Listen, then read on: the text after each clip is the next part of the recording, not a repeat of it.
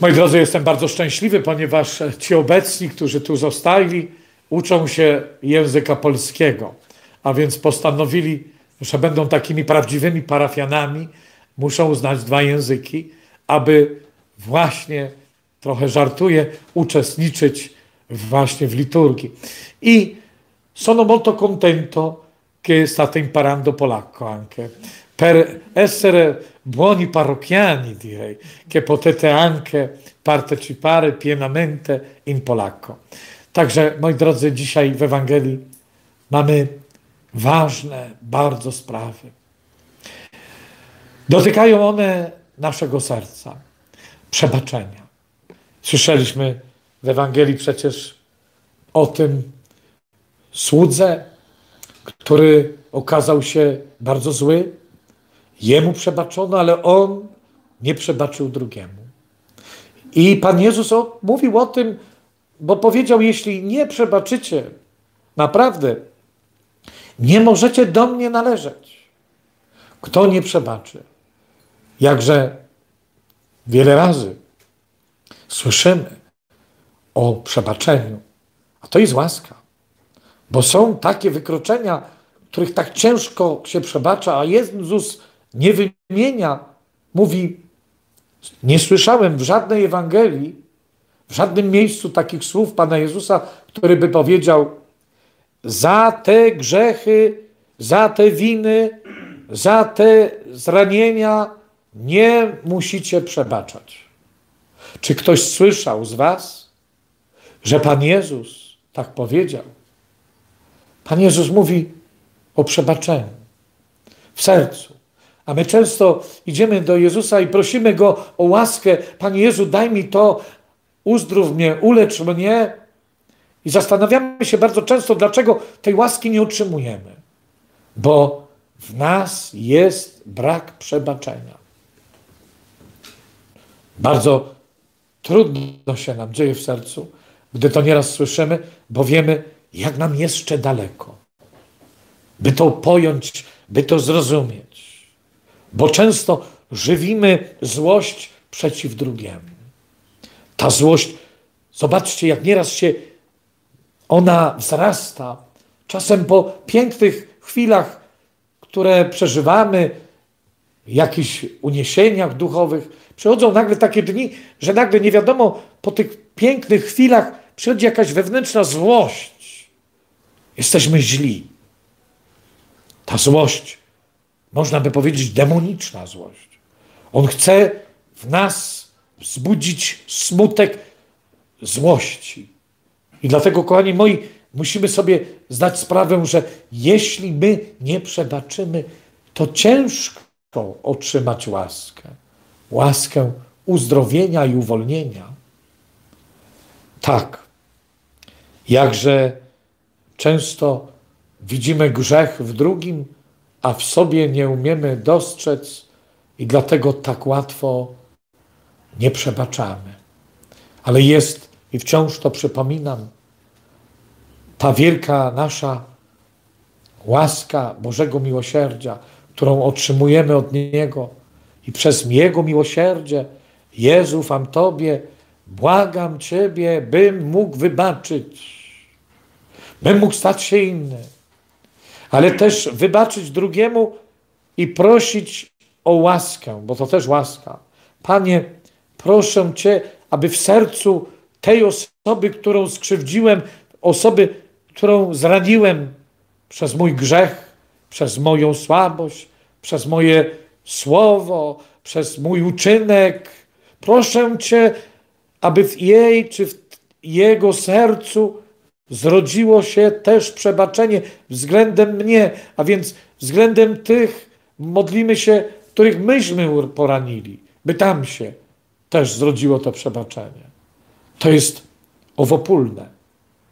Ale Pan Jezus wszystko to może dać. Tylko nigdy nie wolno nam działać z nienawiści.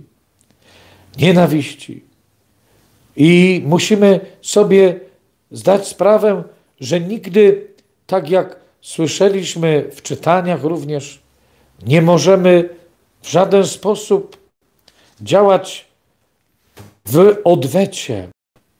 A więc nigdy nie możemy niczego czynić, by bliźniego właśnie w nienawiści nie czynić odwet, czyli jeszcze bardziej go skrzywdzić.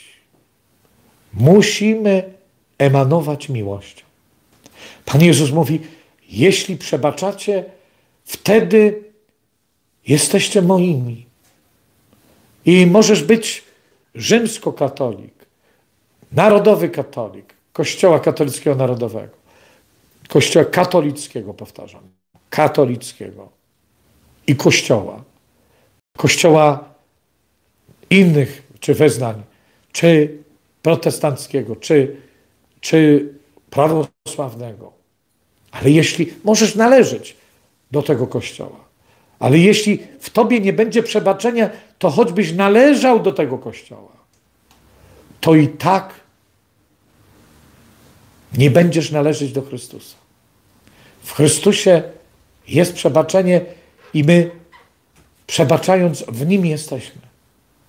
Dlatego tak bardzo ważnym jest, abyśmy codziennie podjęli drogę myśli, kogo ja poraniłem, komu kogo się źle odniosłem, aby codziennie przebaczać przed Jezusem. Najpiękniej, kiedy przyjmujemy komunię świętą, kiedy jesteśmy przed Eucharystią, przez Najświętszym Sakramentem, mówimy, Panie Jezu, dzisiaj tę chwilę chcę modlić się za tę osobę, bo mi przychodzi na myśl, którą zraniłem, czy, czy źle powiedziałem do niej, czy źle o tej osobie mówiłem, czy źle traktowałem.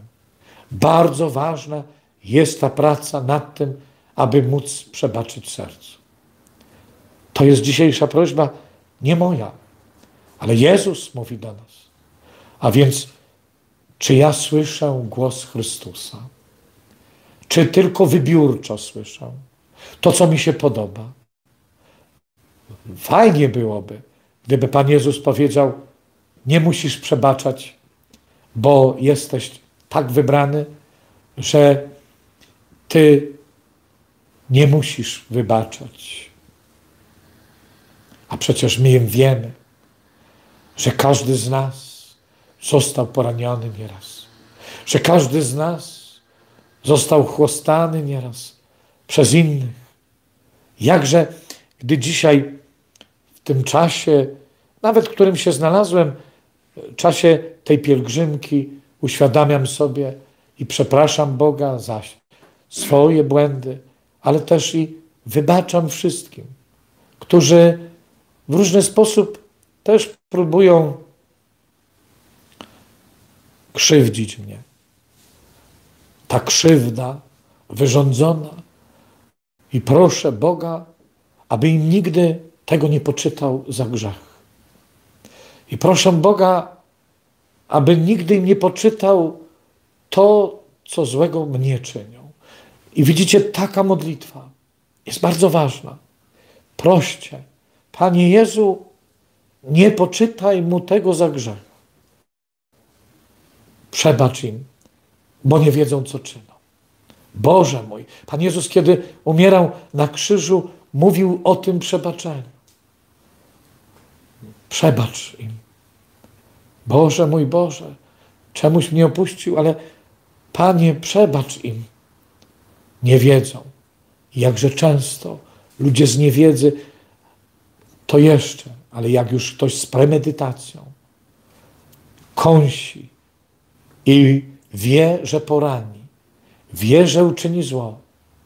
Chodzimy, mówiłem przed chwilą w kazaniu w języku włoskim, widzimy tu cały czas w maseczkach siebie. Ale ja mówię czasem, trzeba by było niektórym założyć kaganiec, bo oni jak pies, ten zły pies, chcą cały czas kąsić, chcą cały czas gryźć.